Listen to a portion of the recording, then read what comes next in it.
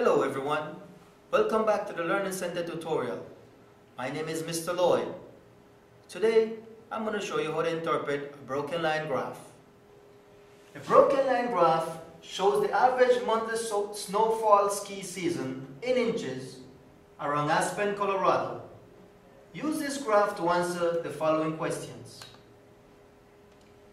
Before we answer the question, let's look at the graph. In October, we have 2 inches of snowfall. In November, we had 12 inches. In December, 18 inches. In January, 20 inches. In February, 18 inches again. In March, 70, 17 inches, and in April, 8 inches. Now from this, let's answer the questions. The first one, what is the average snowfall during January? If I look at January, my average snowfall is 20 inches.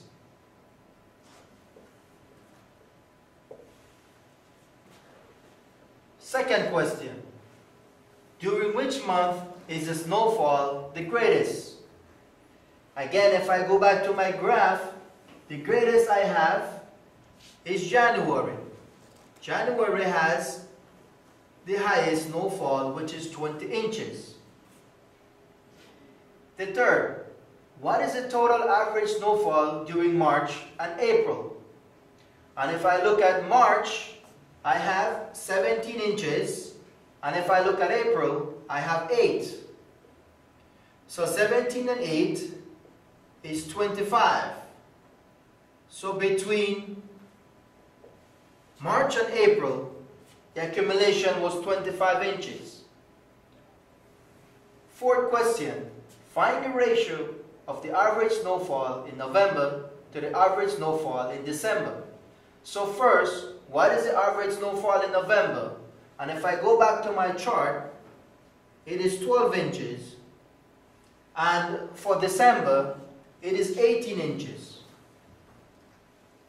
If I reduce or simplify this ratio, I should get 2 to 3. So the ratio of the average snowfall in November to the average snowfall in December is 2 to 3 inches. I hope the broken line graph tutorial helps you. Thank you for using the Learning Center tutorial.